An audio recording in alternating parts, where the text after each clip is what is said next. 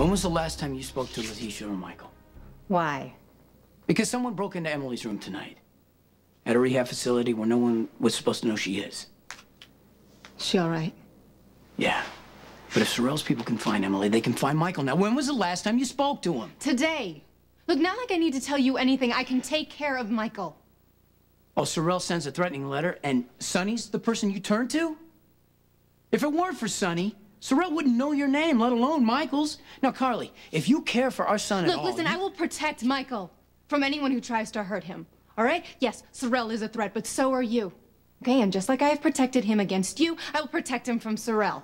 Now, if you'd open your damn eyes, No, if you open your eyes... I can take care of him! if you open your eyes, you'd see that Sonny is lousy at protecting people.